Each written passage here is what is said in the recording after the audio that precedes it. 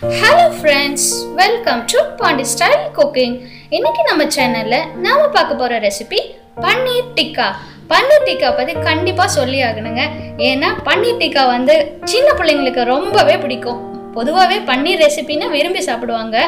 அதுலேயும் பன்னீர் டிக்காங்கிறது வந்து ஹோட்டல் ஸ்டைலில் ரொம்பவே சூப்பராக செய்யலாம் நம்ம வீட்டிலேயே எப்படி செய்யலாம்னு பார்க்கலாம் வாங்க. வாங்க தேவையான பொருட்கள் என்னன்னு ஃபர்ஸ்ட் பார்க்கலாம். டூ ஃபிஃப்டி கிராம் பன்னீரை இப்படி க்யூபாக கட் பண்ணியிருக்கேன். அதே மாதிரி கொடமிளகா ஆனியன் ரெண்டையும் க்யூபாக கட் பண்ணியிருக்கேன். அடுத்தது ஒரு பவுல் தயிர். இந்த கால் கிலோ பன்னீருக்கு நான் ஹண்ட்ரட் எம்எல் தயிர் எடுத்திருக்கேன். அடுத்தது மசாலா ஐட்டங்கள் என்னன்னு பார்க்கலாம். தனி மிளகாய்த்தூள் ஒரு டீஸ்பூன். கரம் மசாலா அரை டீஸ்பூன். மல்லித்தூள் அரை டீஸ்பூன் சோள மாவு ஒரு டீஸ்பூன் கடலை மாவு ஒரு டீஸ்பூன் சீரகத்தூள் கால் டீஸ்பூன் ஒரு பிஞ்ச் அளவுக்கு மஞ்சள் பொடி உப்பு தேவையான அளவு. ஃபஸ்ட்டு நம்ம தயிரை ஆட் பண்ணிக்கலாம். அடுத்தது மசாலா ஐட்டங்கள் எல்லாத்தையும் இது கூட சேர்த்துக்கலாம். எல்லாத்தையும் போட்டாச்சு. இப்போ நல்லா மிக்ஸ் பண்ணிக்கலாம். மிக்ஸ் ஆனதுக்கப்புறம் ஃபஸ்ட்டு எடுத்து வச்சுருக்க பன்னீரை இதில் சேர்த்துக்கலாம்.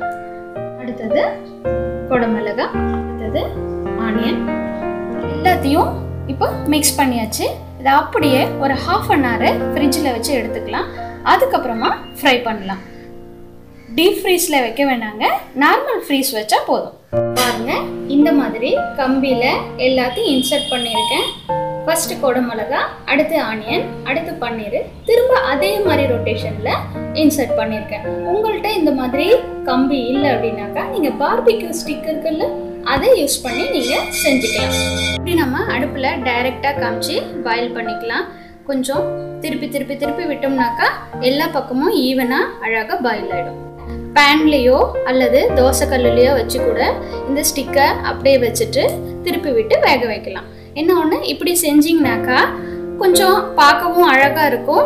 டேஸ்ட்டும் ரொம்ப நல்லா இருக்கும் இந்த மெத்தடில் செய்யும்போது.